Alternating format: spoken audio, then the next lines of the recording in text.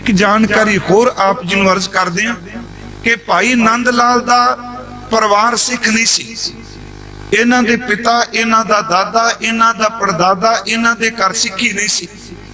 ਅਸਲ 'ਚ ਇਹ ਵੈਸ਼ਨਵ ਸਾਹਿਬ ਵੈਸ਼ਨਵ ਸਨੇ, ਪਰ ਜਿਸ ਦਿਨ ਭਾਈ ਨੰਦ ਲਾਲ ਨੂੰ ਗਲ 'ਚ ਕੰਠੀ ਪਾਉਣ ਲੱਗੇ ਤੇ ਇਸ ਬੱਚੇ ਨੇ ਇਨਕਾਰ ਕਰ ਦਿੱਤਾ, ਉਹਨੇ ਕਿਹਾ, ਮੇਰੇ ਗਲੇ 'ਚ ਉਹ ਕੰਠੀ ਪਾਇਓ ਜਿਹੜੀ ਮਰਨ ਤੋਂ ਬਾਅਦ ਵੀ ਮੇਰੇ ਨਾਲ ਜਾਂਦੀ ਹੋਵੇ ਕੰਠੀ ਪਾਉਣ ਵਾਲਾ ਵੈਸ਼ਨਵ ਬੜਾ ਸੂਝਵਾਨ ਸੀ।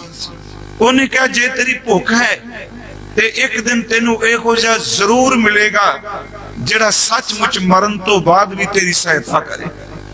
ਇਸ ਘਰ ਵਿੱਚ ਸਿੱਖੀ ਕਿਵੇਂ ਆਈ? ਭਾਈ ਨੰਦ ਲਾਲ ਸਾਹਿਬ ਜੀ ਦਾ ਆਨੰਦ ਕਾਰਜ ਜਿੱਥੇ ਹੋਇਆ, ਵਿਆਹ ਹੋਇਆ, ਉਹ ਬੀਬੀ ਸਿੱਖ ਕਰਾਣੀ ਸੀ, ਉਹ ਪਰਿਵਾਰ ਸਿੱਖਾਂ ਦਾ ਸੀ।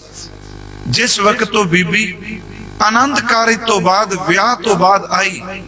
ਤੇ ਉਹਨੇ ਇੱਕੋ ਗੱਲ ਕਹੀ ਆਪਣੇ ਪਤੀ ਨੂੰ ਕਿ ਮੈਂ ਰੋਜ਼ਾਨਾ ਅੰਮ੍ਰਿਤ ਵੇਲੇ ਇਸ਼ਨਾਨ ਕਰਕੇ ਗੁਰਬਾਣੀ ਪੜ੍ਹਨੀ ਖਾਂ ਸਿਮਰਨ ਕਰਨੀ ਆ।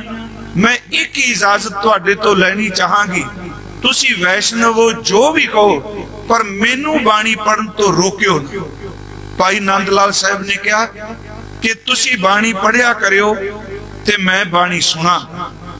ਹਿਰਦਾ ਉਹਦਾ ਸ਼ਾਇਰਾਂ ਵਾਲਾ, ਕਵੀਆਂ ਵਾਲਾ ਸੀ। ਪਰ ਪੂਰਬਲਾ ਭਾਗ ਜਾ ਗਿਆ। ਮੈਂ ਬੇਨਤੀ ਕਰਾਂਗਾ, ਭਾਈ ਨੰਦ ਲਾਲ ਸਾਹਿਬ ਵਰਗਾ ਵਿਦਵਾਨ, ਉਹ ਸਿੱਖ ਬਣ ਲਈ ਸਭ ਤੋਂ ਪਹਿਲਾਂ ਸੰਗਤ ਉਹਨੂੰ ਆਪਣੀ ਘਰ ਵਾਲੀ ਦੀ ਉਹਦੀ ਪਤਨੀ ਦੀ ਸੰਗਤ ਨੇ ਉਹਦੇ ਜੀਵਨ ਨੂੰ ਪਲਟ ਦਿੱਤਾ। ਉਹ ਪਹਿਲਾਂ ਆਨੰਦਪੁਰ ਸਾਹਿਬ ਨਹੀਂ ਆਇਆ। ਮੁਲਤਾਨ ਦੇ ਵਸਨੀਕ ਸਨ। ਇਹ ਪਹਿਲਾ ਖਰਮੰਦਰ ਸਾਹਿਬ ਗਿਆ।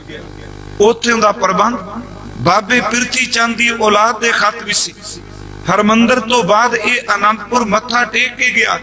ਦੁਬਾਰਾ ਫਿਰ ਜਦੋਂ ਕੁਰਾਨ ਦੇ ਆਇਤ ਦੇ ਅਰਥ ਕੀਤੇ, ਫਿਰ ਭਾਈ ਨੰਦ ਲਾਲ ਦੁਬਾਰਾ ਪੱਕਾ ਆਨੰਦਪੁਰ ਸਾਹਿਬ ਆ ਗਿਆ। ਇਹਨਾਂ ਦੀਆਂ ਗਜ਼ਲਾਂ, ਇਹਨਾਂ ਦਾ ਜ਼ਿੰਦਗੀਨਾਮਾ, ਇਹਨਾਂ ਦਾ ਗੰਜਨਾਮਾ, ਇਹਨਾਂ ਦਾ ਗੁਰੂ ਘਰ ਦੇ ਪ੍ਰਤੀ ਅਕੀਦਤ ਸ਼ਰਧਾ। ਹਾਲਾਂਕਿ ਕੁਝ ਕੁ ਰਚਨਾ ਉਹਨਾਂ ਦੀ ਹਿੰਦੀ ਤੇ ਪੰਜਾਬੀ ਚ ਹੈ ਰਹਿਤਨਾਮੇ ਤਨਖਾਹਨਾਮਾ, ਬਾਕੀ ਸਾਰੀ ਦੀ ਸਾਰੀ ਰਚਨਾ ਭਾਈ ਨੰਦ ਲਾਲ ਸਾਹਿਬ ਦੀ ਫਾਰਸੀ ਵਿੱਚ ਹੈ। ਮੈਂ ਸਿਰਫ ਸ਼ੁਰੂਆਤ ਇਥੋਂ ਕਰ ਲੱਗਾ ਕਿ ਜਿਸ ਗੁਰੂ ਗੋਬਿੰਦ ਸਿੰਘ ਜੀ ਦਾ ਆਪਾਂ ਪੁਰਬ ਮਨਾ ਰਹੇ ਹਾਂ, ਭਾਈ ਨੰਦ ਲਾਲ ਸਾਹਿਬ ਨੂੰ ਪੁੱਛ ਕੇ ਦੇਖੋ ਕਿ ਗੁਰੂ ਗੋਬਿੰਦ ਸਿੰਘ ਜੀ ਕੀ ਜੇ ਕਥਾ ਰਿਪੀਟ ਹੋਵੇ, ਸਰਵੇ ਨਾਲ ਬਖਸ਼ ਦਿਆ ਜੇ। ਕਿਉਂਕਿ ਉਸ ਦਿਨ ਮੈਂ ਕਿਹਾ ਸੀ ਕਿ ਗੁਰੂ ਗੋਬਿੰਦ ਸਿੰਘ ਵਿੱਚ ਬੇਅੰਤ ਗੁਣ ਨੇ, ਪਰ ਉਹ ਐਸੇ ਸੂਰਮੇ ਨੇ ਜਿਨ੍ਹਾਂ ਦਾ ਸੀ ਜ਼ਿਕਰ ਉੱਥੇ ਕੀਤਾ ਸੀ।